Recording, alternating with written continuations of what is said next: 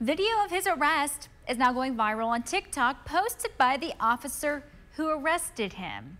He argues that if it is being used as evidence in the trial, it should not have been made public or posted on social media. Jonathan Polasic takes the story from here. Hi, Jonathan.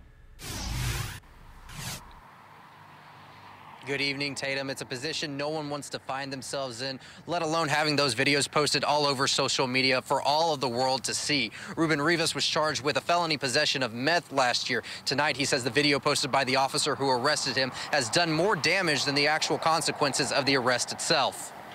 A West Texas man awaiting trial for a 2020 arrest. Though he believes in the court of public opinion, its case closed. I looked at it and said, oh, wow, that's that cop with me, you know, he arrested when he was arresting me, and I said, "Oh, that cop's not supposed to be doing that because that case is still pending. It's still an open investigation. It's just I feel so ashamed. You know what I mean? I feel embarrassed. I mean, I know what I did was like I said, she knows what I did was wrong, but for him to post it like that, privacy just for him to get the kicks out of it, that, that wasn't right, man. The officer, Jordan Roebuck, posted his arrest split into two videos on TikTok over the weekend. Rivas wants to know why. I called the Fort Stockton Police Department and let them know, hey, man, this guy, does he still work for y'all? Uh, Jordan uh, Roebuck, and he, they're like, no, he got fired. News West 9 confirmed that Roebuck is no longer an employee of the Fort Stockton Police Department, but could not elaborate further. For Rivas, he says it's not right to relive perhaps the lowest moment of his life on social media before he even sees his day in court. It just made me look worse to the public. I lost a couple of contract contracting jobs. The homeowners do not want to do not want to work with me because of that video.